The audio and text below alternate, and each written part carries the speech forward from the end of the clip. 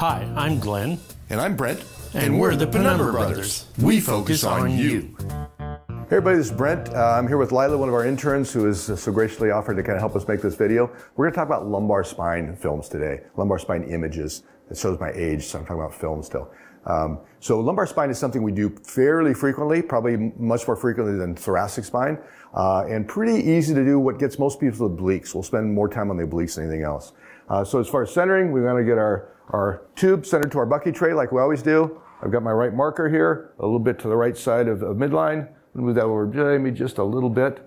Uh, and again, when you're working with a bucky tray, key is to slide that guy in, now leave your tube and bucky tray alone. Anytime you start moving one, you're gonna have to move the other. So now, once we get that lined up, we're gonna line our patients up. Gonna use the iliac crest for, for guidance. We're gonna, we're gonna center about two fingers above the iliac crest. I'm gonna have your arms down to the sides, right, like so. I'm gonna open this up just a little bit. Okay, and a lumbar spine, we want it, that diaphragm incursion to be up as high as we can. We want to see nice even density, and so I'm going to take this on a full expiration, moving that diaphragm up. So take a big breath all the way out, blow it out, and make the exposure. And there's our AP.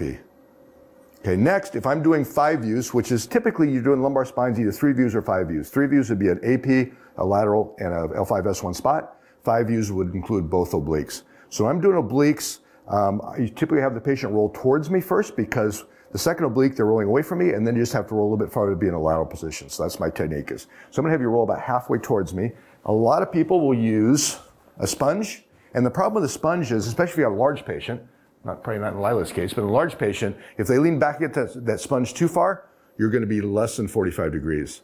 And 45 degrees works for a bunch of reasons. Number one, that's what we want to see the little Scotty dogs or the zygapophyseal joints. We need to be at 45 degrees. And also, if they're less than 45 degrees or more than 45 degrees, the centering trick I'm going to show you is not going to work. You're either going to be behind the, the lumbar spine or in front of the lumbar spine. So about 45 degrees. What you can do, if you just bring that arm across and if you just bend your top knee for me and straighten your bottom one and just rest that foot back there on the table, or no, this foot, oh. top foot, yeah. Your other foot. there we go. And bring this arm across a little bit more and roll your hips back just a little bit. Even without the sponge, roll back a little bit more. You can get her about 45 degrees. Uh, some people will reach back here and kind of feel, feel the spine, or some people will go down and look one end of the table or the other. You can also kind of follow her, her spine down from her cervical spine, and you can kind of follow where to center. But generally, if they're 45 degrees, you're going to center. Same thing, up and down, a couple fingers above the AS or the uh, iliac crest, and a couple fingers inside the ASI, ISIS that you can kind of judge from your iliac crest, just like so. I'm going to turn this a little bit to kind of match your spine. Same thing, breath in, blow it all the way out, take it on expiration. That moves those diaphragms up, and you get some nice even density. So next, I'm going to have Lily roll to her left, about the same thing, about halfway up. Good. Bend that top knee. There you go. Perfect. So arm across. About 45 degrees. Get rid of this.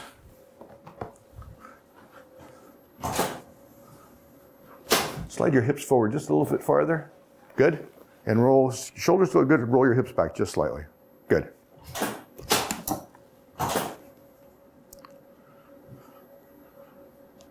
Okay. Looking down the table. It's at 45. Following our cervical spine right down. Whenever roll back just slightly. Good. Okay. Breath in all the way out, make the exposure.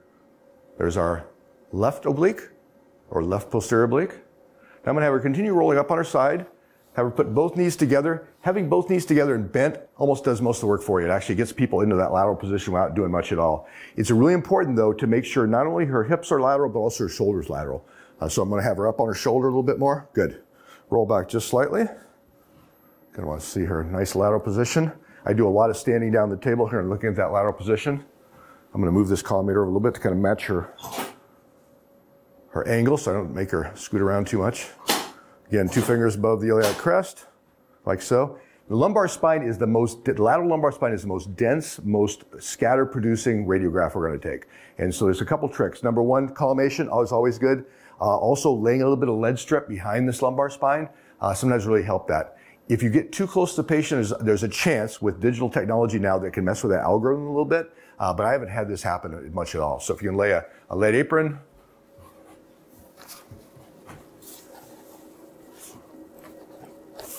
let's use this lead sheet here. A little bit of lead right behind that lumbar spine will absorb some of that scatter that comes off the lumbar spine and not allow it to reach your IR and make a, a little bit cleaner image. So again, collimation, um, again, smaller person like Lila, you're not having to use those heavy techniques, but if you have somebody that's three or 400 pounds, you get a significant amount of scatter off the lumbar spine, more scatter than you get in any other study. So there's our lateral. Again, breath in, blow it out. Notice I haven't moved the tube, I haven't moved my Bucky tray, I'm just moving her, okay? So the last one is gonna be an L5S1 spot. An L5S1 spot is meant to look for spondylolisthesis or other abnormalities of your last lumbar vertebrae, your first sacral segment. That's where a lot of motion occurs in the back. Kind of like from your, your cervical spine, a lot of motion occurs from C7 to T1. Lumbar spine it occurs from L5 and S1, and it's a real common uh, area for problems. Also, people have congenital defects of their pars sometimes, which allows a lot of spondylolisthesis. We want to see that happening. Uh, so we're going to take a specialized view of that L5S1. So she's going to stay in the same position. Most females, because they usually have wider hips, you're going to need a little bit of an angle. Um, and I kind of judge by, by the patient. Lila, probably, I'm probably going to use probably 10 degrees on Lila. Now this, because I moved my tube, now I have, do have to move my, my Bucky tray a little bit. So I'm going to either line that up or line Bucky up. I'm going to go down here. Then two fingers below the crest, right at midline. Some people make kind of a C with their finger. Some people will aim at their PIP of their index finger.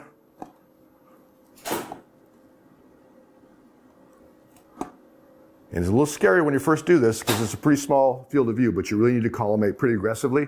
Remember, this is divergent out. So by this divergent ray, by the time it hits that IR, we're going to have an image like so big. So uh, first time kind of scary. Again, two fingers below. This breathing really doesn't affect this at all. I'm not messing with the diaphragm. I was usually holding, hold real still on this.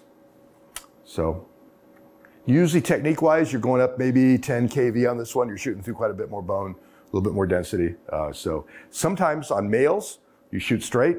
Um, sometimes with people have really large shoulders, I've actually angled the opposite way. That actually the spine is angled the opposite way because of large shoulders, narrow waist. So kind of look at the patient uh, and make your judgment from there. On average, females 10 degrees, males straight, you're going to get about 95% of the time. Have a great day.